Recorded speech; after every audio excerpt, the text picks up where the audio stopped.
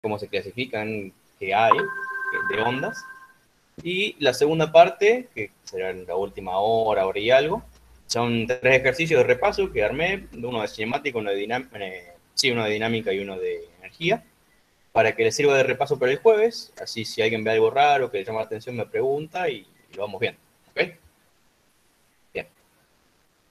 Vamos a arrancar entonces la parte de ondas.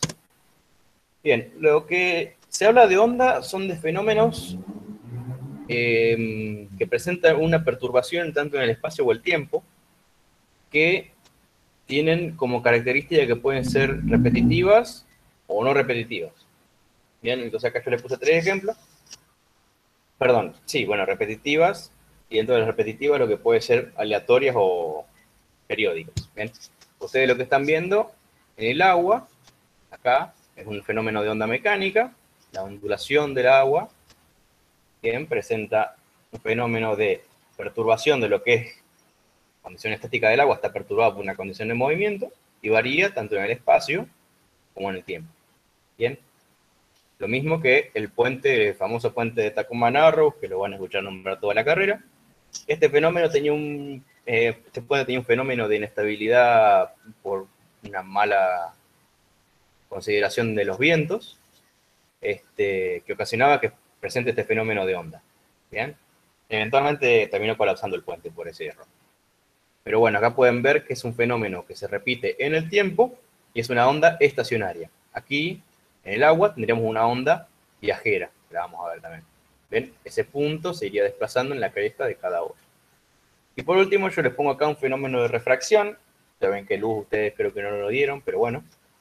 La onda de luz, que es una blanco, al impactar, o sea, presentar su fenómeno de refracción acá en un cristal, supongamos, un cambio de medio, se hace lo que sería la separación en las diferentes longitudes de onda. La longitud de onda más larga es la infrarroja y la más alta, perdón, la más corta, es la ultravioleta. Y entonces ustedes ven que todo el espectro de luz se puede descomponer gracias al fenómeno de refracción, doble refracción. Acá hay uno y acá hay otro. Pasa de aire a vidrio y de vidrio a aire otra vez. Entonces se aumenta el ángulo de refracción y pueden ver el arco iris que veía Newton. ¿Bien?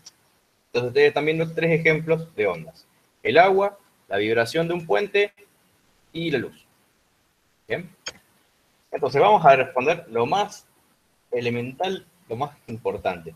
Siempre que ustedes estudien un fenómeno, lo que es definiciones, ecuaciones, lo que ustedes quieran, lo primero que tienen que entender es el concepto más fundamental que ustedes puedan darle a un concepto. Por ejemplo, si yo les pregunto qué es la energía, en 10 palabras ustedes me tienen que decir qué es la energía.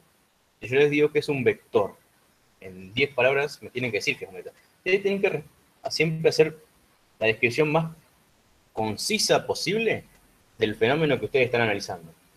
¿Por qué? Porque en base a esa definición tan, tan chica, digamos, parece simple, ustedes ya tienen un punto de dónde aferrarse y dónde empezar a construir un conocimiento. Si ustedes quieren explicar, arrancando a decir qué es una onda, es como cuando vos ves, no, ¿qué es una onda? Una onda es un fenómeno ondulatorio que presenta una, una perturbación tanto en el espacio como en el tiempo. Eso es conciso. Con eso no le dar. Entonces, una vez que ustedes ya construyeron esa definición básica, ahí pueden empezar a decir, se puede dar en tal caso, en tal otro, y bueno. Bien, acá se define, ¿ven?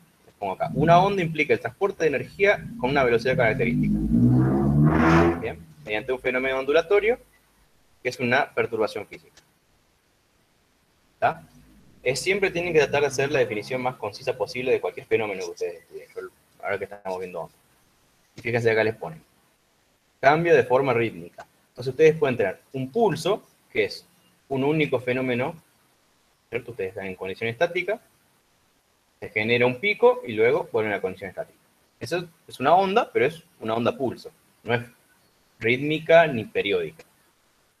También podrían tener un fenómeno ondulatorio pero a periódico, o sea, no repetido en el tiempo, como podría ser. Eh, bueno, no sé si pueden, pongan en Google péndulo de caos y ustedes van a ver que es también un fenómeno que se, es un fenómeno duratorio, está oscilando, pero no tiene ninguna descripción posible. Es matemáticamente el caos, ese péndulo. Y otro que sí es más describible con una función periódica, que es, no sé, una maca. Una maca o un péndulo. Ustedes ven un fenómeno ondulatorio periódico. ¿Bien?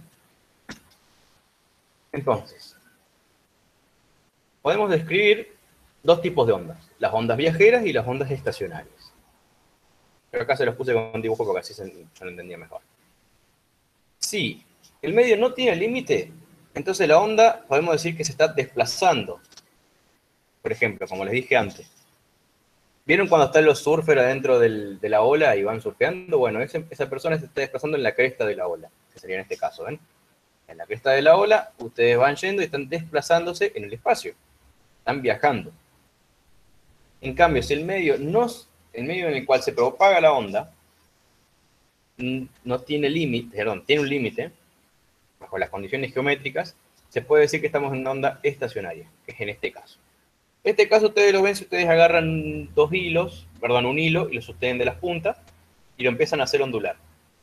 Van a ver que se genera esta primera onda, ¿eh? se llama modo, modo 1 en lo que es cálculo estructural. Esto sirve para analizar las distintas formas de vibrar en las estructuras que pueden llevar a caos, a la destrucción de la estructura y a que se venga abajo. Este, fíjense que a medida que ustedes van analizando los modos superiores, este es el modo 2, modo 3, modo 4, a medida que son cada vez más altos los modos, requieren mucha más energía y son menos probables de ocurrir. Yo se los digo anecdóticamente eso. Lo que se tiene que quedar es que esta es una onda estacionaria porque no está viajando, la cresta está produciéndose siempre en el mismo lugar, bien, al igual que la onda periódica, pero en esta onda ustedes ven que al no poseer un fin el medio en el cual se desplaza la onda, podríamos decir que se está desplazando el fenómeno. ¿Bien? ¿Alguna duda respecto a geométrica, a estacionaria y a viajera?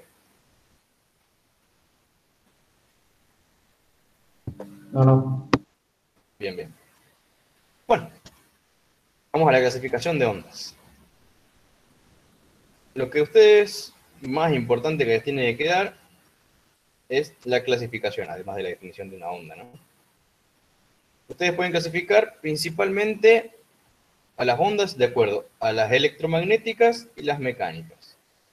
Eso es lo principal. Las ondas mecánicas son aquellas que requieren una sustancia para poder manifestarse, como ser el agua, el gas, va, perdón, no, el líquido, el gas o la sustancia sólida. Por ejemplo, si ustedes ponen la oreja en un red de ferrocarril y pueden escuchar que muy lejos de ahí hay un, ruido. Bueno, antes así se encontraba, se sabía cómo llegaba un tren, por ejemplo, cuando ustedes, los indios querían descarrilar los trenes en Estados Unidos, los aborígenes agarraban, se escuchaban, se ponían en, los rieles y escuchaban cuando venía la vibración. Si había vibración, quiere decir que el tren estaba viniendo y lo hacían descarrilar, le ponían un tronco o algo, no sé.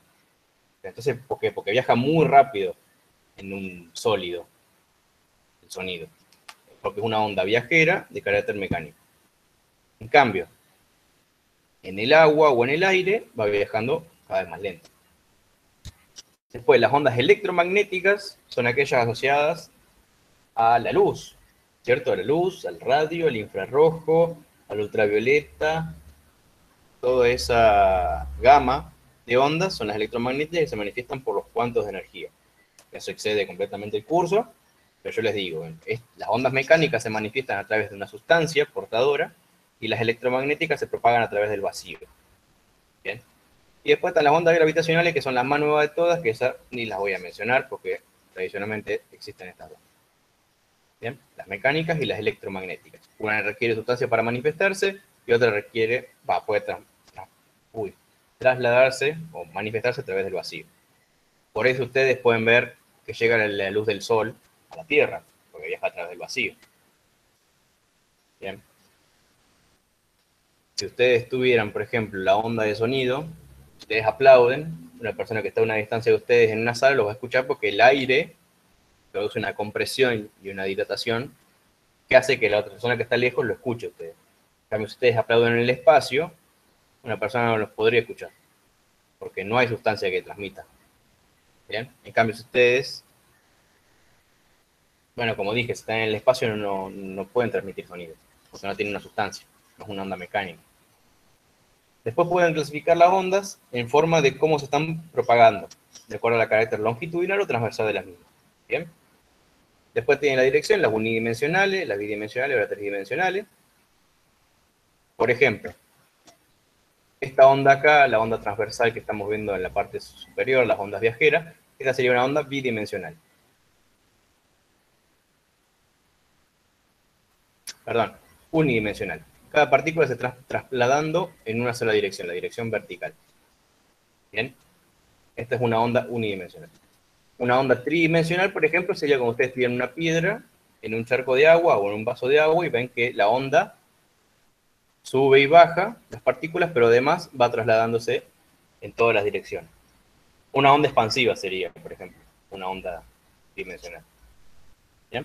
Y después, en función de su periodicidad, como les dije antes, se pueden ser periódicas, como el sonido, una onda periódica, un tono, y las ondas aperiódicas, que podría ser un aplauso.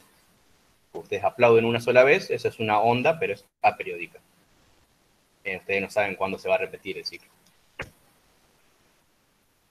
Dentro de las ondas longitudinales es cómo se propaga la, variación, se propaga de forma longitudinal al medio.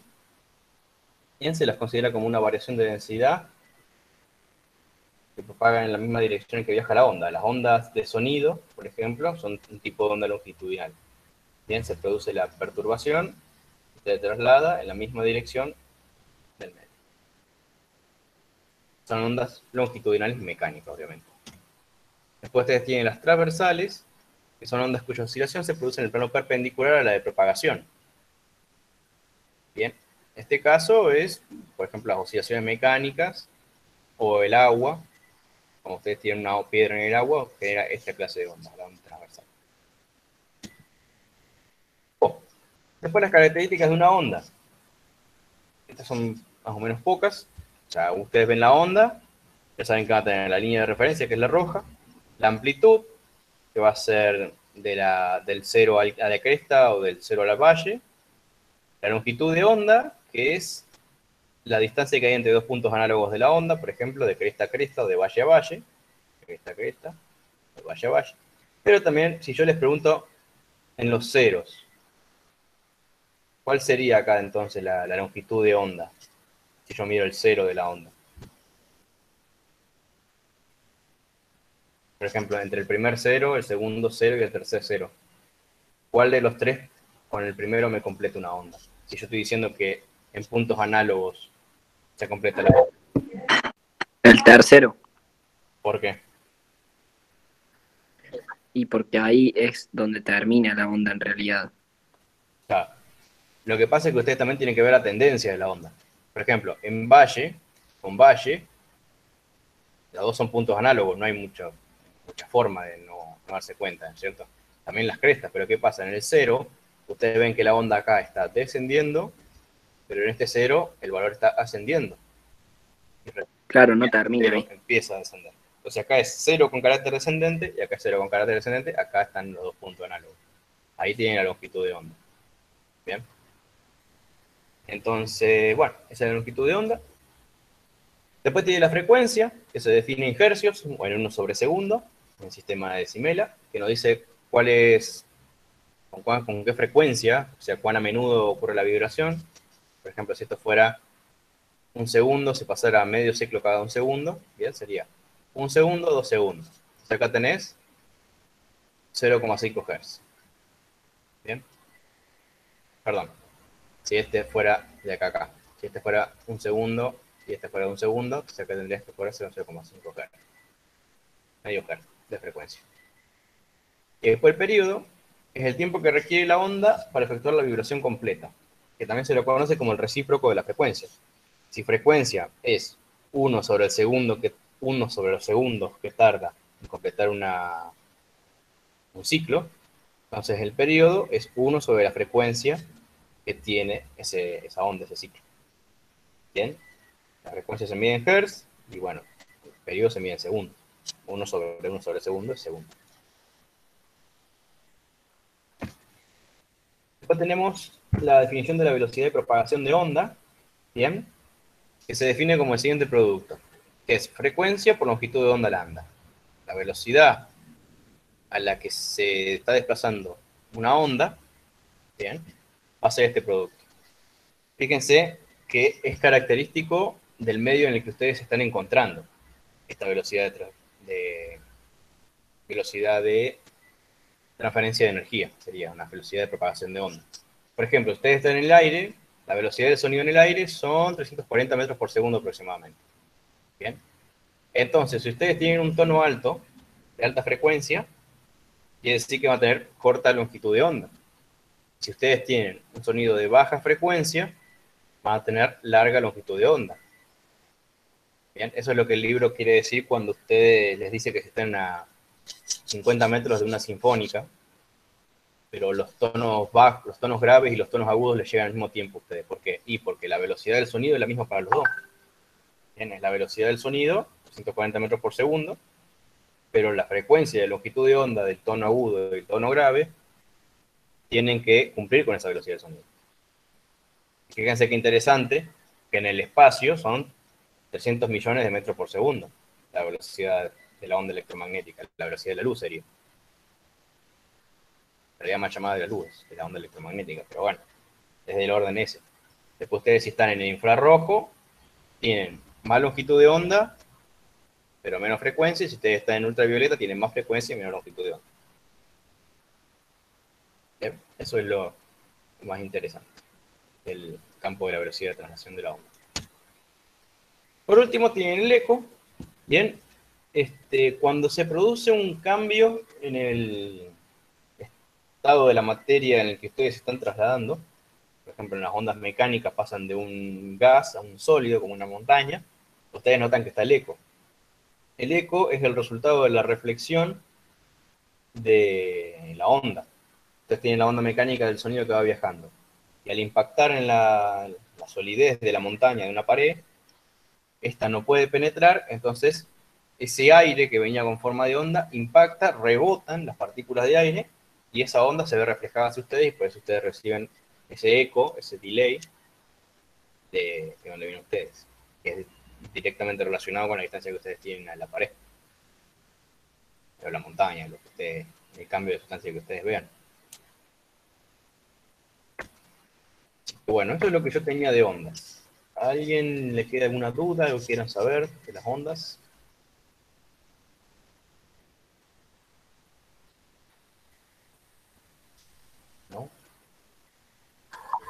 Eh, no, está todo muy claro. Bueno. Eh, a mí, esta es la unidad que menos me costó. Bueno.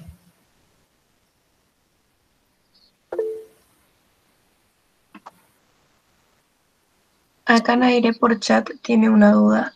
Ah, bueno. Apenas la escriba, te la leo. Bueno. Los demás vayan pensando a ver si alguno tiene alguna duda. Si no, vamos a ver ejercicio de esos de dinámica.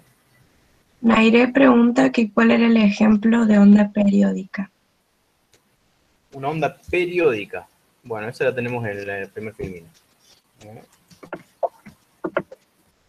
Ahí ven. Fíjate, esta, la primera, la onda transversa, es una onda periódica. Fíjate, todo el tiempo repite el ciclo. Cresta, valle y periodo es todo estable. No cambia la frecuencia, no cambia la amplitud. Está todo completamente estable. Eso es una onda periódica. Observa sus propiedades a lo largo del tiempo.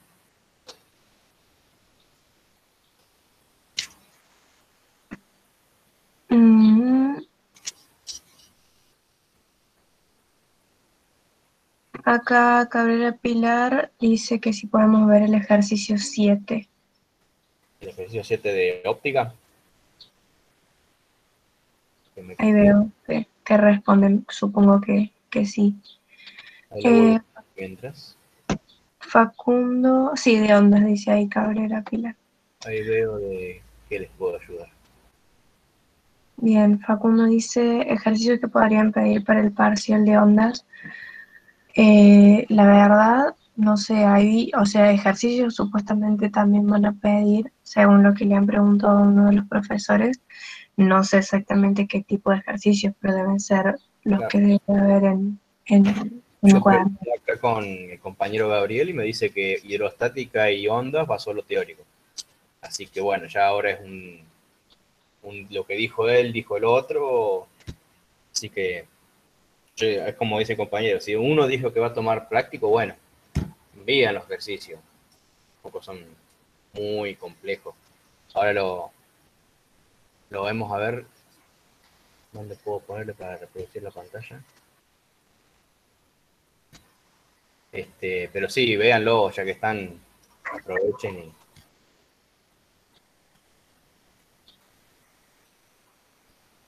Bueno, Bueno. Acá eh, otra pregunta es que Carolina, de Carolina que dice, ¿cómo se haría para sacar la velocidad si te dan el tiempo en lugar de la frecuencia? Te dan el tiempo, quiere decir, estimo yo, ¿no? Por lo que me estás preguntando. Eh, te habrán dado el periodo de la onda. En lugar de decirte que la frecuencia era de, no sé, 350 Hz, te habrán dicho que la- el periodo de la onda era de un milisegundo. Bueno, como te dieron segundo y Hertz es 1 sobre periodo, esto te dieron el periodo de un milisegundo. Bueno, frecuencia es 1 sobre periodo. Sea, 1 sobre el 1 milisegundo te va a dar la frecuencia.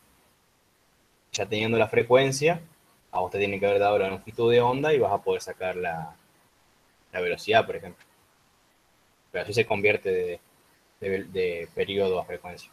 1 sobre, sobre periodo. A ver, un físico en su laboratorio mide durante una tormenta el tiempo de 3.7 segundos el instante en que ve caer el rayo y el instante en que se escucha el trueno, teniendo en cuenta que la luz y el sonido se propagan en el aire a una velocidad tal. 140 metros. ¿A qué distancia del laboratorio cayó el rayo? Uh, esta es una muy buena pregunta. A ver cómo sería. Ustedes ven el rayo. Después, 3.7 segundos. Ah, ya sé cómo es. Este, yo creo que acá lo que vos tendrías que hacer es decir, bueno, como del punto de impacto, ¿no es cierto? Donde cae el rayo. El rayo, el trueno. Esto es un fenómeno muy distinto, chicos. El rayo es una cosa y el trueno es otra. El rayo es la luz, ¿bien? Y el trueno es el estallido. El trueno, desde donde cae hasta donde llegas vos, tuvo una demora de 3.7 segundos, que tuvo que recorrer esa distancia. Y si vos sabés que el fenómeno en el, en el aire se está manifestando a 340 metros por segundo, que es la velocidad de sonido en el aire. Vos tenés que 340 metros por segundo de velocidad por el tiempo te da metros.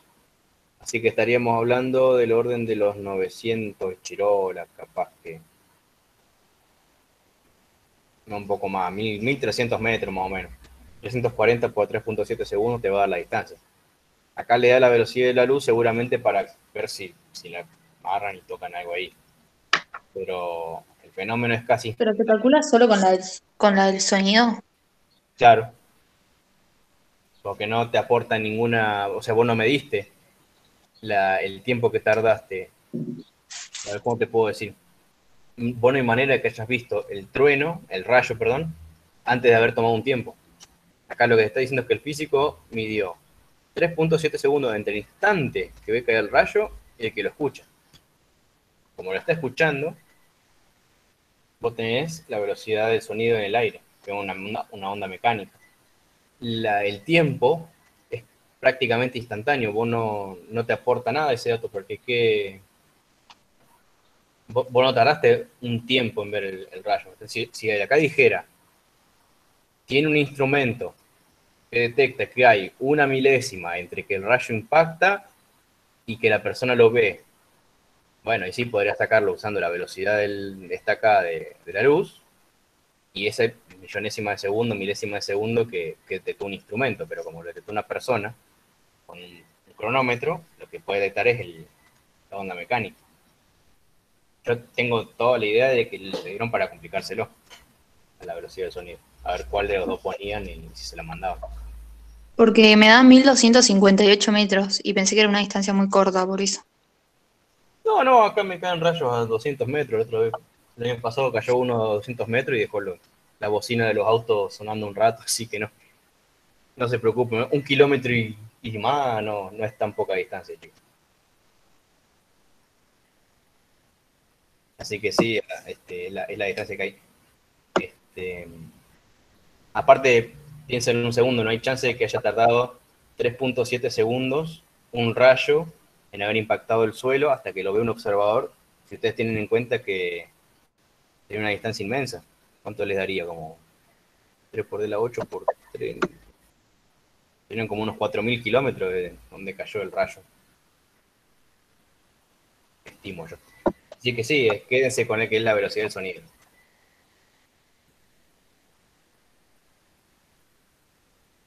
Bien, ¿ese es el ejercicio 7 también o no? Ese es el 7. Ah, va con, de la mano con lo que preguntaba Caro. Acá por chat, eh, Rafael también pregunta eh, si la frecuencia y la longitud de onda son inversamente proporcionales. Si la frecuencia y la longitud de onda... Eh, denme un segundo, ¿no? De mí siempre se me confunde. Vamos a revisarlo porque mejor que inventar es saber.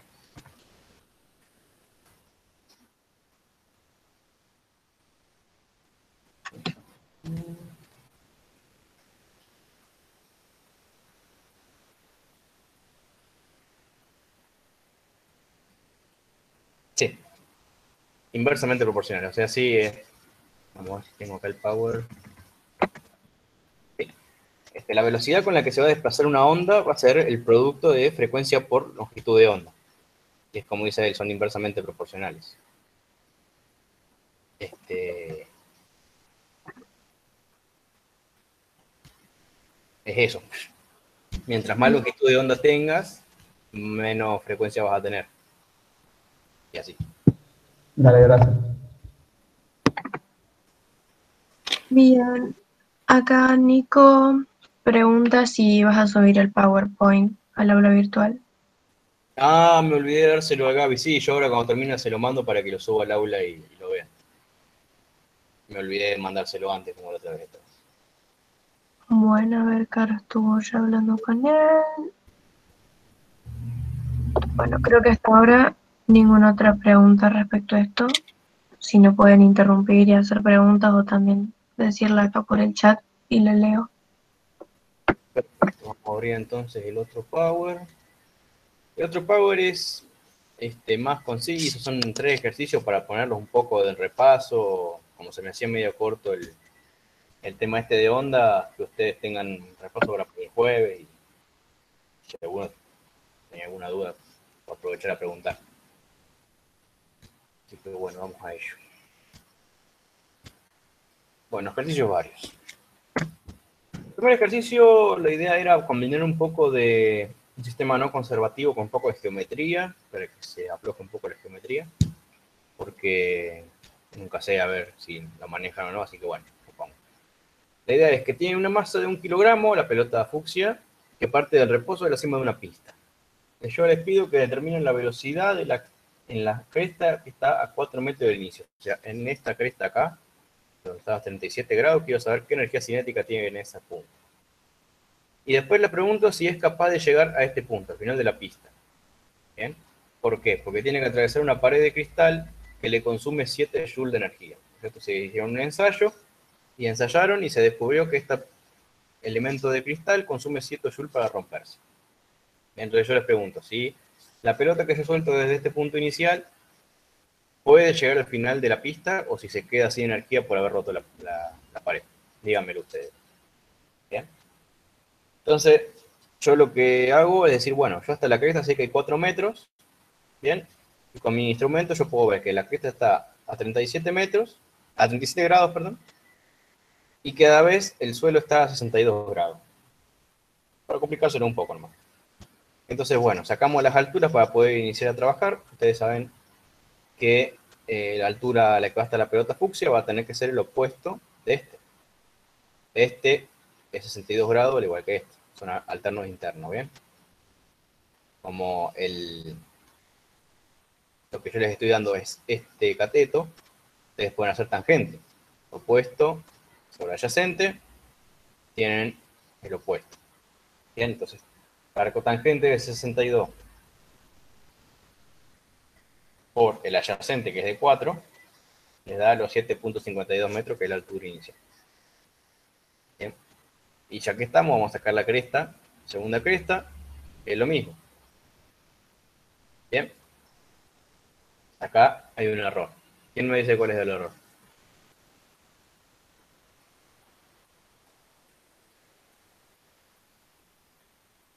Tómense su tiempo.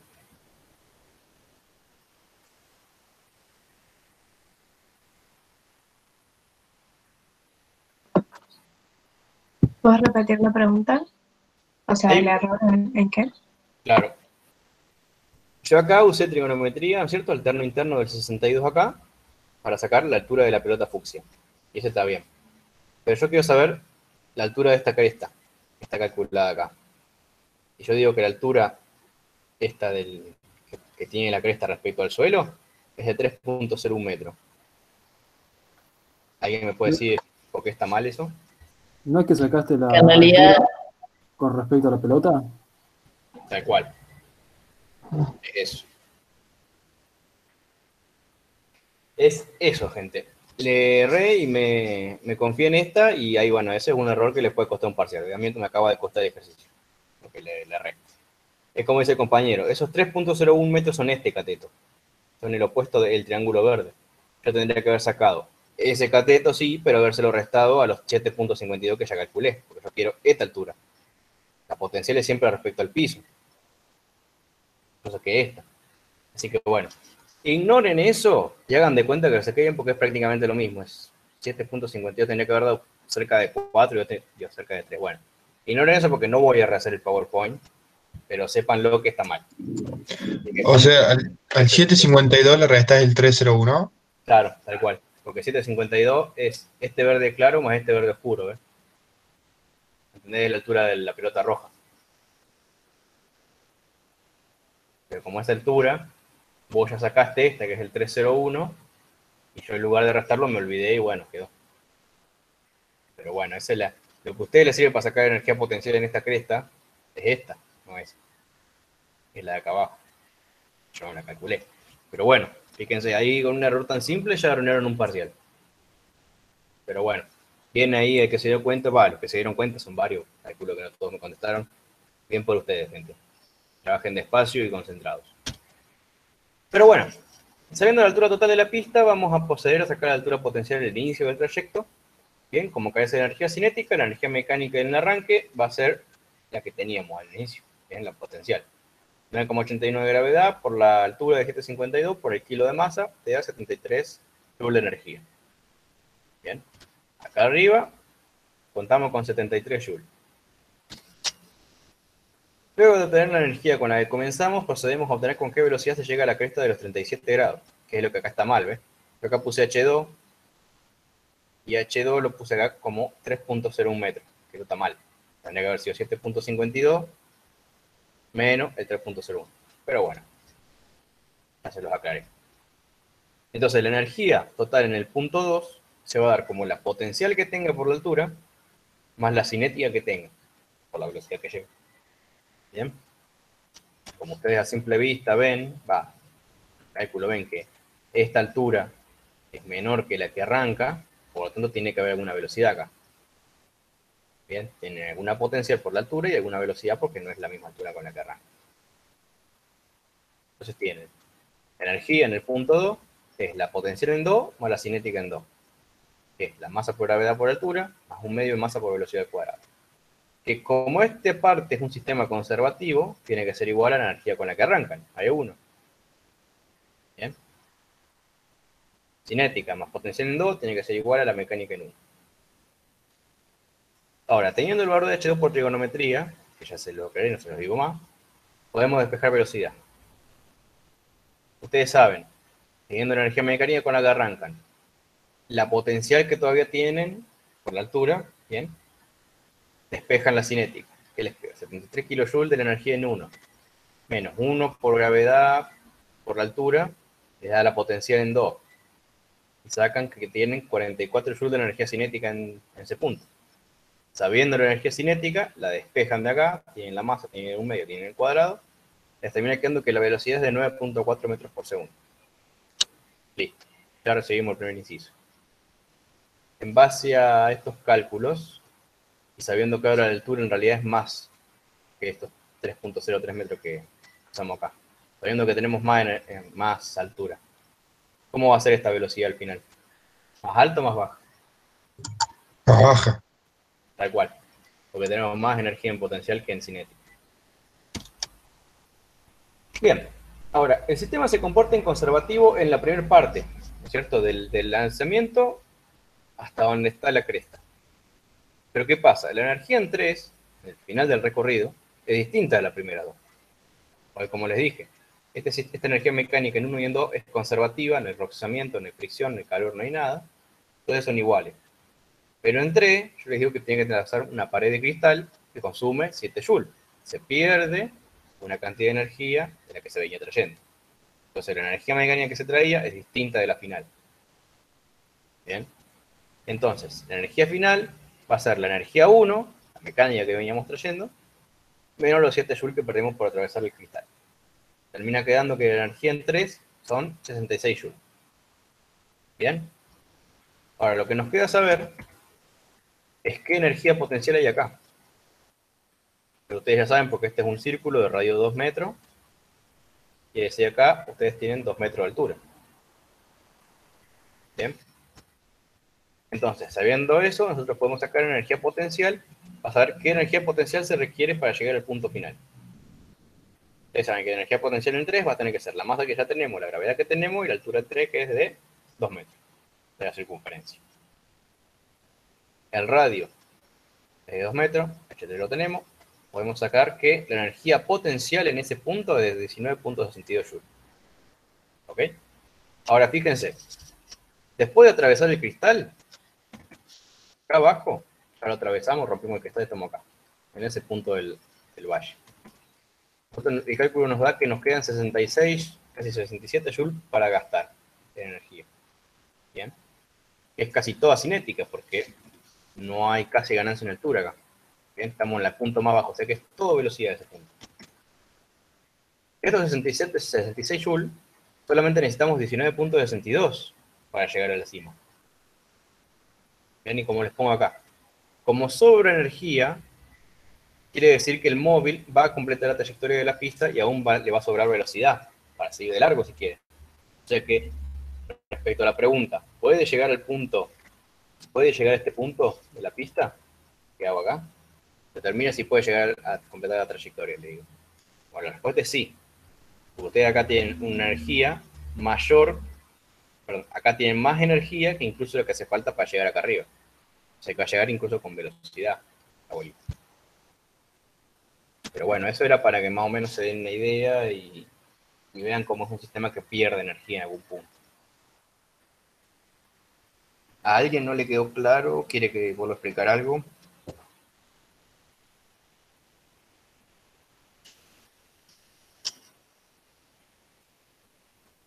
Eh, Entonces, mientras no haya obstáculos ni nada que me saque energía cinética, bueno, energía, ¿es conservativo mi sistema? Sí, esa es la definición del sistema conservativo. Mientras no haya pérdida, va, va a conservar toda la energía mecánica del sistema.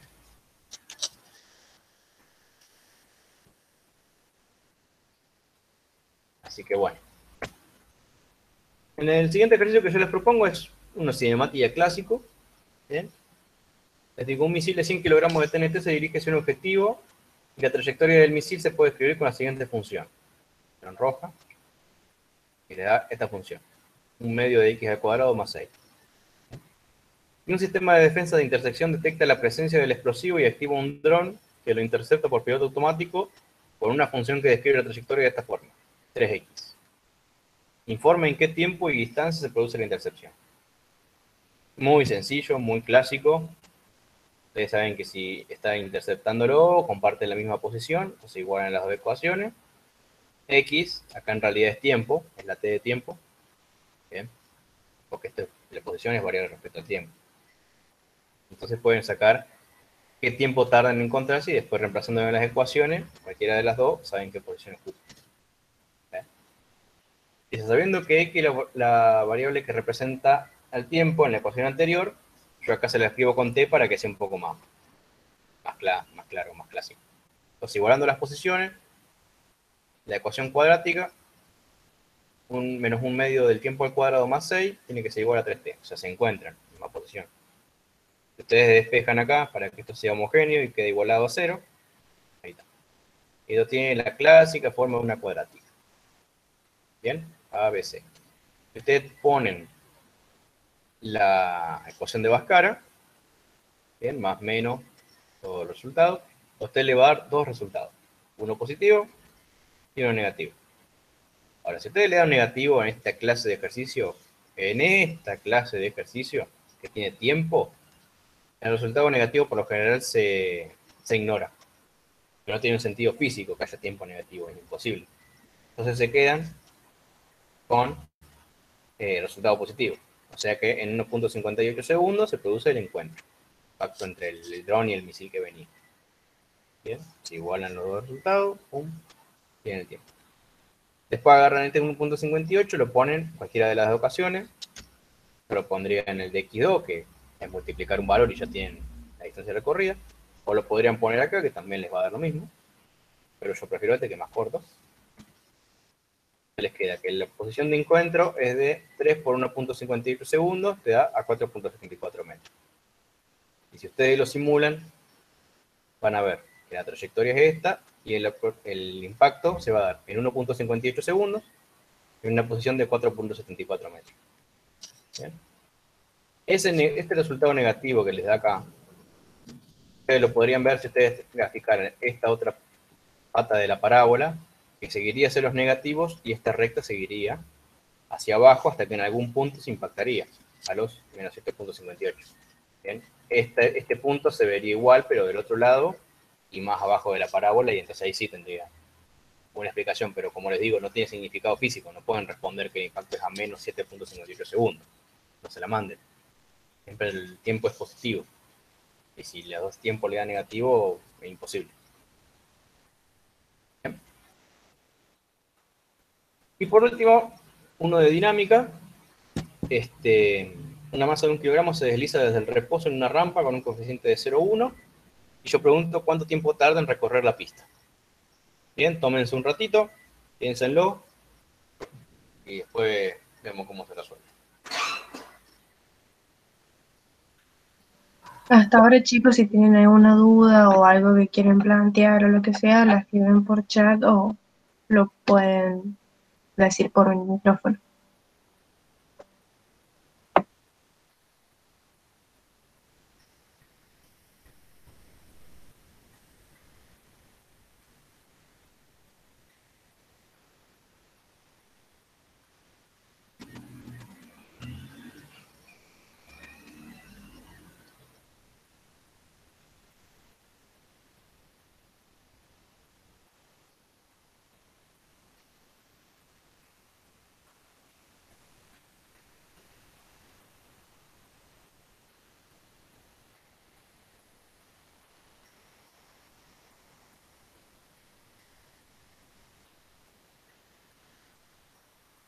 Bueno, ya que lo pensaron, este, vamos a ver. Yo acá lo que les doy es un cuerpo de un kilogramo de masa. La gravedad la tienen, la fricción la tienen, tienen que esto es un metro y tienen los 33 grados. O sea, tienen toda la geometría para poder resolver. Bien. Descomponen el peso del cuerpo, como siempre. Bien, este ángulo acá es el alterno interno, eh, no el alterno interno, es el semejante de este. 33 de acá, es 33 acá. Quiere decir que los 9.8 newton lo descomponen en seno y coseno. Seno le va a dar la componente del peso, que es esta rosada. La normal se las va a dar la naranja. La fuerza de rozamiento es muy por normal, que yo le dije que es 0,1. Por la componente normal, les da 0,82 newton. La dirección opuesta al, al movimiento, ¿no es cierto? Se está deslizando hacia abajo. Luego, a la componente de fuerza tangencial se le debe restar la componente de rozamiento, para lo cual el resultante que impulsa la masa es la diferencia entre toda la, la componente de aceleración, digámosle, la tangencial, lo que pierde por rozamiento que tiene que vencer para lograr el movimiento, les termina quedando que la fuerza que impulsa el bloque hacia abajo es de 4.51 newton, no de 5.33. Es de 4.51. Ahora, ustedes tienen la fuerza. ¿Qué pueden hacer? Teniendo la fuerza resultante, teniendo la masa, ustedes pueden sacar la aceleración de esa masa. Si fuerza es igual a masa por aceleración por segunda de newton, ustedes saben que fuerza es 4.51 newton. La aceleración entonces es 451 dividido 1, te da 4.51 metros por segundo. Bien. Yo lo que les pregunto es cuánto tiempo tarda en bajar el bloque esa rampa. Entonces ustedes tienen una aceleración, parten del reposo, pero dicen, nos falta la distancia recorrida. Pero con trigonometría nosotros vemos que la hipotenusa, ¿bien? Porque ustedes tienen la altura, tienen que medir un metro de altura de la rampa, tienen el ángulo, pero no saben cuánto es esta distancia. Esta es la distancia que va a recorrer el bloque. Entonces, sabiendo esa distancia, ustedes saben que la hipotenusa es 1 sobre seno, esto seno es opuesto sobre hipotenusa. A saber hipotenusa, hacen opuesto sobre seno, opuesto sobre seno, nos termina dando que la rampa es de 1.83 metros. Bien. Ahora, teniendo la distancia, teniendo la aceleración, podemos sacar el tiempo que tarda en recorrer la rampa. Entonces sabemos que, vamos a la ecuación de la cinemática, tenemos posición inicial 0, velocidad inicial 0, lo único que nos queda es el 1 medio por tiempo al cuadrado. Medio de aceleración por tiempo al cuadrado. La aceleración la tienen, la posición la tienen, acá está, ¿ves? 1,83 metros igual a un medio de la aceleración por tiempo al cuadrado. Despejan el tiempo y tienen que el tiempo que tarda en caer el bloquecito de la rampa es de 0,37 segundos. ¿Bien? Y fíjense qué interesante que esto lo pueden hacer ustedes en su casa. ¿Qué podrían hacer? Y en lugar de ya saber el mu, lo pueden averiguar. Ustedes agarran un- una rampa, una tabla, una mesa, una silla, le dan una inclinación, la miden saben cuánto es. Ponen un bloque, un, un- un algo, ustedes saben cuánto pesa, no sé, una botellita de agua, que ya saben cuál es el peso del agua. Si le ponen medio litro, tienen medio kilo de agua. Si le ponen un litro, tienen un kilo de agua. Bueno, saben la masa, le dan la inclinación y cronometran cuánto tarda en caer el bloque, esa distancia que ustedes pusieron. Y haciendo el cálculo, despejando mu de acá, ustedes pueden saber cuál es el coeficiente de rozamiento. Hagan el cálculo hacia, hacia atrás. Teniendo el tiempo, teniendo distancia, teniendo aceleración, recomponen para saber mu. Es interesante. Ustedes pueden hacer la física esta en sus casas si quieren. Deténganse con eso. Pero bueno, chicos, eso es lo que yo tenía para energía de hoy. Va, energía de ondas. Este, no sé si hay algo más que quieren saber que les pueda responder. Acá Nairé eh, no, no entendió muy bien el primer ejercicio que, que diste. Supongo que es el de energía. Bueno, O sea, se le había cortado el internet y no pudo ver la ah, explicación. bueno, bueno. Ahí de repetirlo o ver estos estos ah, estos Power también los subirían al aula. Eh, sí, se sube al grupo de ABM. Este, Claro. se sube al grupo de ABM, incluso creo que las grabaciones también se suben al YouTube de ABM. Ellos tienen las filmaciones las clases de cineo Sí, más. sí, la clase la estamos grabando, se va a subir. El tema es que, bueno, por hay que tener el Power también. Sí, sí, sí, el Power después de dárselo a Gaby y Gaby lo sube al LEP seguramente. Genial. Pero bueno, es esto, es un repaso rápido. O si alguien más tiene alguna pregunta que le elabore. Ustedes tienen los cuatro, tienen la distancia hasta la cresta, tienen los dos ángulos. El primer ángulo de 62 es para saber la altura de la pelota. El de 37 lo que te dice en realidad es la altura desde la pelota hasta la, hasta la cresta. Vos querés saber desde el piso la cresta para sacar energía potencial. Por eso este dato acá está mal. Esto tenía que darte 4 con algo. Bien, tenés que hacer el 7.52 que te da el opuesto. Este, y le restás lo que te dé ese 3.01 que saqué acá. Le restás esto y te va a quedar distancia del suelo a la cresta. Entonces ya tenés la forma de calcular energía potencial. La energía mecánica que calculas en el arranque es masa por gravedad por altura. Bien, entonces acá es energía mecánica que arranca. Acá arriba tenés, como no tenés cinética, tenés todo mecánica como potencial. Tenés que son 77 joules, 74. Este, para obtener la energía cinética que vas a tener en el punto 2, vos vas a saber. En el punto 2 vas a tener potencial y cinética. La potencial la puedes sacar porque ya antes sacaste la altura que va a tener la pelota. Y la cinética la puedes despejar. Entonces te a de gravedad de altura, que tiene que ser igual a la... Esta suma, ¿no es cierto? Tiene que ser igual a la energía mecánica con la que arrancaste. Bien. Esta energía con la que arrancaste era de 74 joules casi, y se conserva porque no hay rozamiento, no hay nada en esa primera parte. Entonces ustedes agarran la energía mecánica con la que arrancan, le sacan la potencial que tienen en ese punto, les queda que de cinética tienen 44 joules. O sea que ustedes despejando de energía cinética esos 44 joules, tendrían quedando que la velocidad es de tanto. En realidad tendría que ser un poco menos porque hay más potencial, porque ya le dije que está mal calculada la altura. La altura tendría que ser cerca de 4. Pero bueno. Y después, bueno, ahí ya estás en este punto. Yo estoy preguntando, ¿cuánto es la velocidad acá? Ya sacamos. Y si llega a completar el trayecto llegando acá arriba de vuelta. Porque tiene que atravesar una pared de cristal que atravesándola pierde 7 joules de energía. ¿Bien? Entonces acá yo digo, bueno, la energía mecánica que había en 1, que es igual a la de 2, tiene que ser distinta a la de 3. ¿Por qué? Porque se perdió. Estas energías, estas dos son iguales, pero esta es distinta.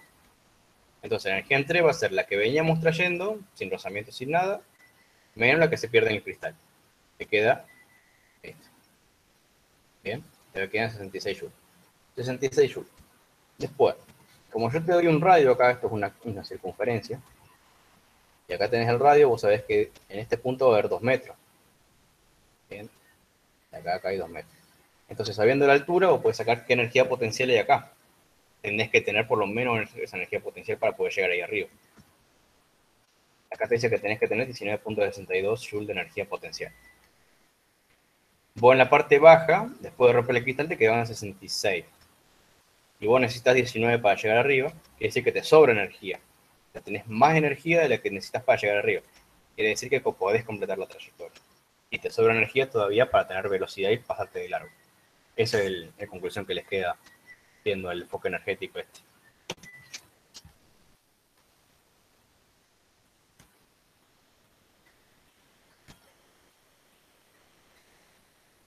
Bien.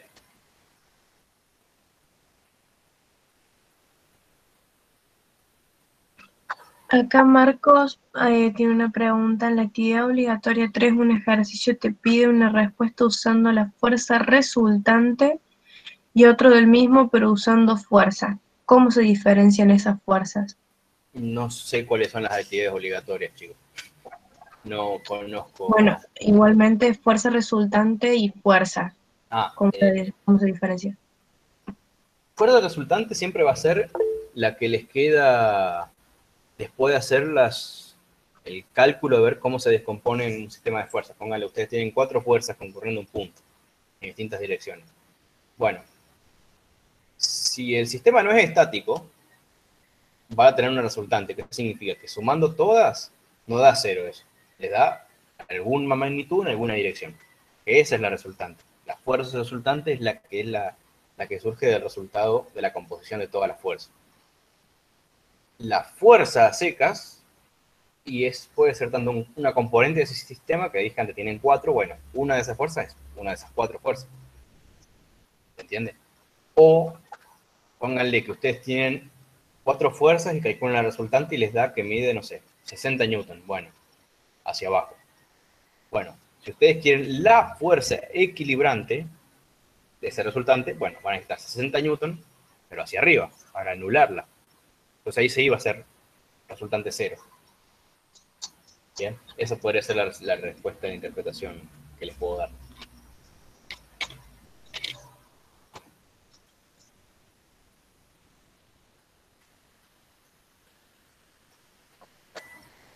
Ahí respecto a lo del simulacro, eh, tengo que preguntar bien cuándo se va a hacer el del centro y creo que mañana era el de el que era de la Facu, pero no sé bien todavía. Así que estate atento en los grupos y pregunta. Yo ahora me voy a informar bien y, y te digo cualquier cosa. Creo que jueves va a haber un simulacro de esto de física.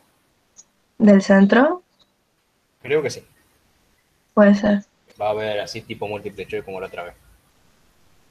Este, mm, Ya voy a hablar bien con Gaby, así me confirma y Claro. avisan. De química, matemática no tengo ni idea, pero este creo que sí. Así que bueno, chicos, muchos éxitos, mucha suerte. No tengo mucho más que aportarles. Este, espero que les haya servido de algo y bueno, sigan estudiando mucho, con mucha ganas. Bueno, muchísimas gracias Emma por la explicación. Eh, creo que quedó todo bastante claro. Así que bueno, te agradecemos un Ah, montón. favor, para lo que necesiten una mano, siempre vamos a aparecer. Este, no sigan todo. poniendo, poniendo ganas y bueno, estudiando y lo bueno de esta parte de la física es que ustedes la pueden probar en su casa. Casi todo esto de física 1, estática, lo pueden medir todo en su casa, con un poco de ingenio, bueno. Pero es, es lo bueno de esta parte de la física, que lo pueden comprobar ustedes mismos, ya después más adelante. Se, se pierde bastante eso, pero es lo lindo de la primera parte. Así que bueno, gente, muchas gracias a todos por haber escuchado, por su tiempo y que tengan buenas tardes. Muchísimas gracias a vos, Emma. Hasta luego.